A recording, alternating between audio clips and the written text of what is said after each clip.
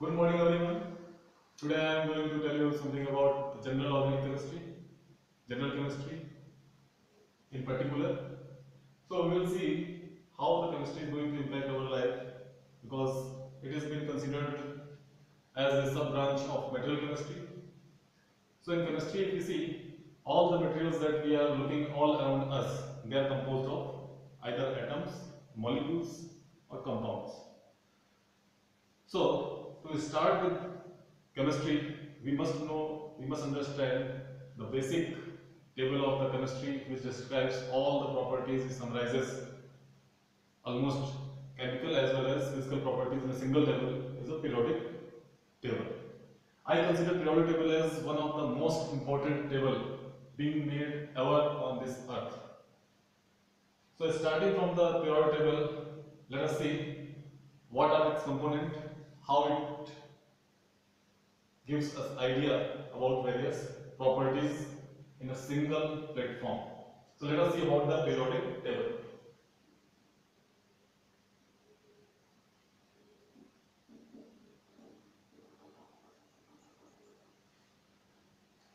So this periodic table. So periodic table, if you can see, it is being divided into four major blocks, which are known as S block, P block, D block, and F block.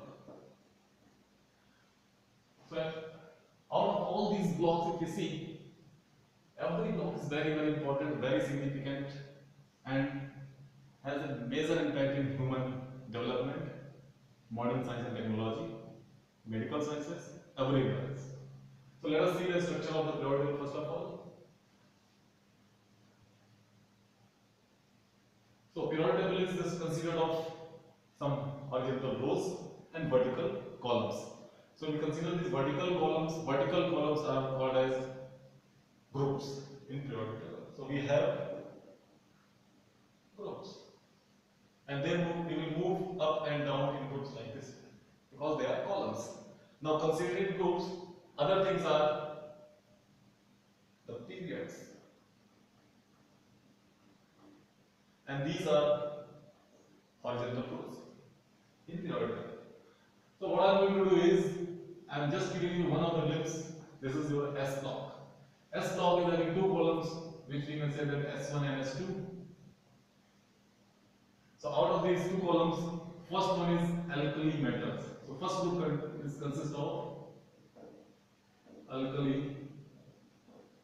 metals. Second one is alkaline earth metals.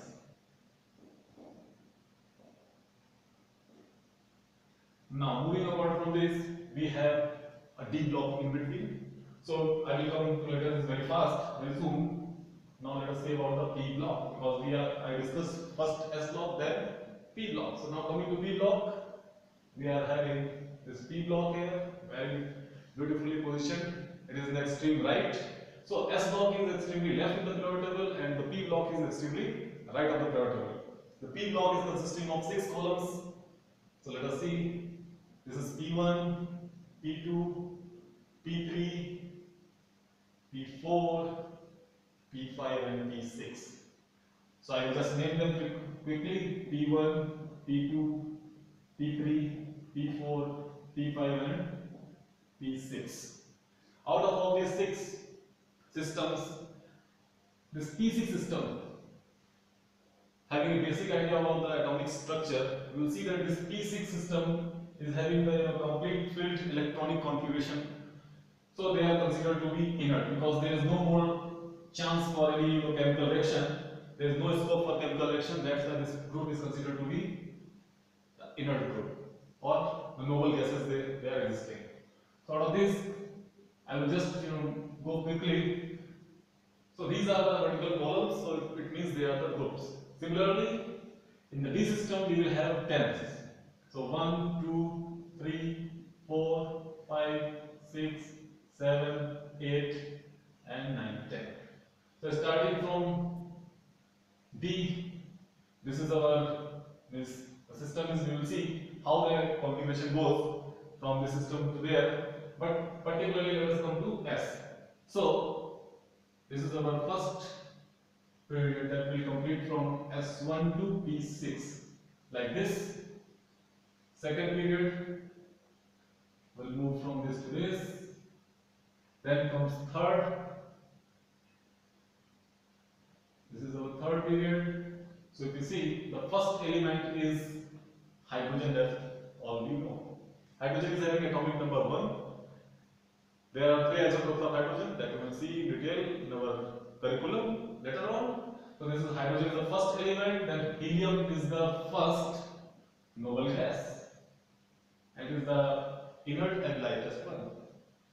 So as we considered hydrogen, earlier hydrogen was filled in balloons to rise up in the air, but due to its ability to catch fire and have a blasting experience, so that to get to replace this, we have selected helium. So nowadays helium filled balloons are being used in particular for research work. Now, so this is hydrogen, second element is helium, the third one is lithium. So we all are aware with our mobile phones or different gadgets, we have lithium ion batteries. So lithium is in particular nowadays is very very important element because of its application in batteries. The fourth element comes out to be beryllium. So beryllium is the first alkaline earth metal in particular we see. Now moving apart, so after beryllium we have boron, then comes carbon, then we have nitrogen, then we have oxygen, then we have fluorine, followed by neon. So neon being atomic number 10, and it is the second noble gas. Now, moving apart, so we are coming to the third period. So this is the first period of the periodic table, the second period, and now we are moving to the third. So what next? This is the most important. Sodium. Everyone is familiar about sodium. We take table salt, NaCl. It's very very important for making of you know uh, the fluid balance in our body. Uh, this is a major component of plasmids, so it maintains the regulation of the fluids along the permeable membrane. Sodium followed by magnesium, very very important element. Then comes aluminium, the most abundant element on the earth crust. Then comes silicon. So we are living in silicon era. Whatever the electronics we are seeing, whatever the display technologies we are having, they are all dependent on silicon. Next followed by the phosphorus, very very important for the bone and the fertilizers. Then comes sulfur. Sulfur is also very very important. Chlorine and then argon. So argon is the third noble gas. Chlorine is very important for the chlorination purpose to make water free of microbes to kill them. Generally, this chlorine is being used. Now, so if I move quickly, I will just write down those elements. So you just follow me. So I am just going for the you know fourth period, then we have fifth period, then we have sixth, and so on. We will we will move, and then we I am just drawing separately some other group, other part of the periodic table that is that we can call it as F block. And F block has 14 such different systems. 14 columns are there. Just count. So 1, 2, 3, 4, 5, 6, 7, 8, 9, 10, 11, 12, 13, and I will add one more to make it 14. So this is the F block. F block we call them as lanthanides. First period is lanthanides, and the second one is known as. So these actinides they are generally they are generally yeah. So out of these two, lanthanide and actinides, these are radioactive. This actinides is it's radioactive, so usually uranium and all those nuclear atoms, thorium, everyone is a part of this actinide series. So usually we don't care about this in our syllabus, but for the medical purpose, this is very very important in treatment of cancer and all. And then in the first case, lanthanides, lanthanides are rare earths. very very important in separation and all. So we'll see and we can you know handle them laboratory. They are used in many purposes, high scientific outputs. So we will see them in separate class and actinides in separate class. So now if I am going to fill this, so moving to the fourth period, fourth, fifth, sixth, and then we have a seventh one. Okay. So now let us see. So the first group of the periodic table, which is the alkali metals, it contains hydrogen, lithium, sodium. Then the next one is potassium, then rubidium, then cesium, and next one, the, the last element of this first group is francium. Cesium is very very important in silicon solar cells. It because this the potential required to eject the photoelectron is very very less in this case of the cesium. That's why it is very very precious metal now because of its importance in solar photovoltaics. Francium is a radioactive nature and it's a liquid metal. So francium is considered to be the first radioactive liquid metal. Now moving to the second part, beryllium, magnesium, then comes calcium, then strontium, then barium and radium. Radium is also a radioactive element. Now, coming to the next part. So this is a D block. I will come to D block just very quickly. Now, in this P1 system, we see boron, aluminum, gallium, indium, thorium. This is thorium. Next part of C carbon silicon germanium tin and very very important it's having a very long string tin and lead then nitrogen phosphorus arsenic antimony and then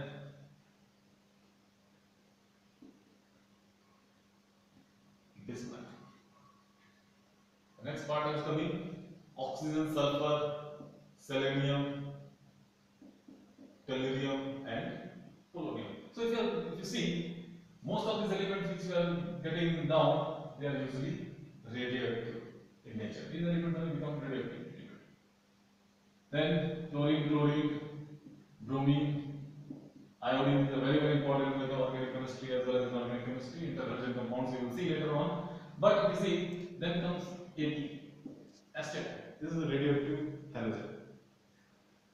Now coming to this last part, if you see this part, in this case, noble gases, helium, neon, argon, then we have a krypton with atomic number 36, then we have a xenon with atomic number 54, then we have radon, atomic number 86.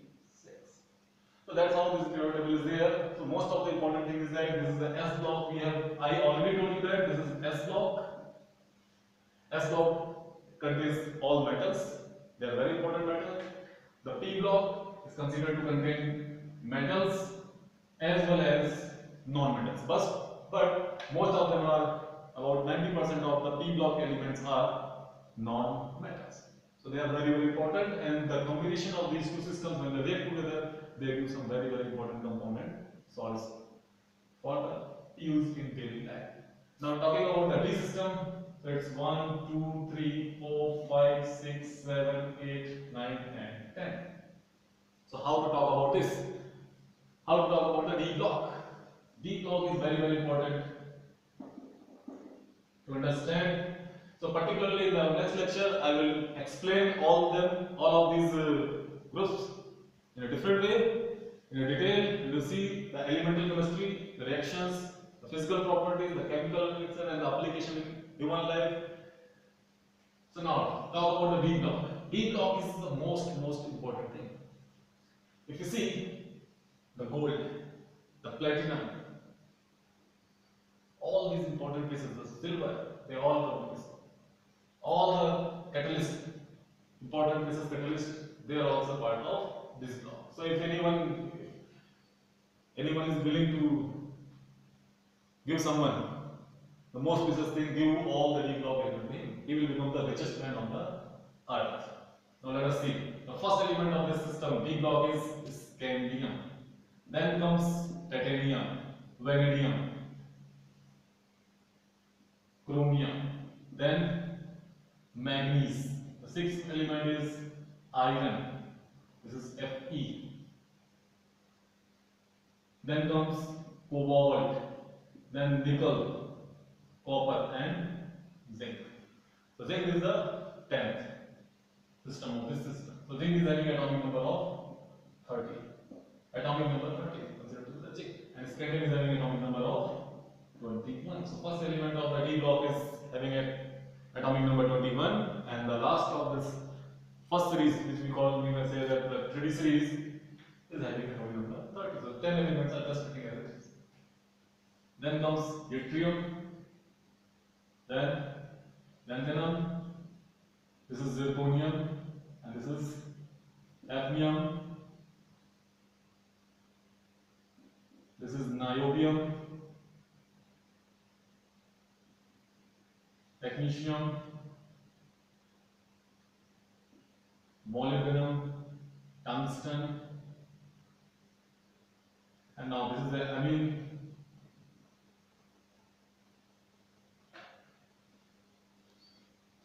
This is the tantalum actually. Rhenium, ruthenium, osmium, rhodium, iridium. This is actually palladium. Then comes precious one is platinum. Then silver, important gold, then comes cadmium, and then the liquid metal is room temperature is mercury, very very important. So it rules the whole physics as well as the chemistry for so many centuries. So this this one was being used. This metal mercury is very very important. Used for the purification of the other elements as well as for the temperature and all. So I hope that so this F block we will see tomorrow. I hope that you got an idea about the periodic table. We can we all can do this. It's very simple, very easy to learn. I will tell you the tricks and all how you can you know learn this periodic table in a few minutes with a very less working. You can get a lot of things. So as I already told, the left side of the periodic table it is all metals. The right part of this is that the noble gases which are usually they don't react, they are considered to be inert, and this part is considered to be the P block elements considered from the P1 to P5, they are mostly non-metals, including some metalloids. And this D part, D, D block, D block is all metals. So as a whole, F block is also their metals. So as a whole, we say that periodic table contains 80% are metals and the remaining part is non-metals. So okay, thank you for listening. We will meet tomorrow at the same time and we'll see some details. Okay, thank you.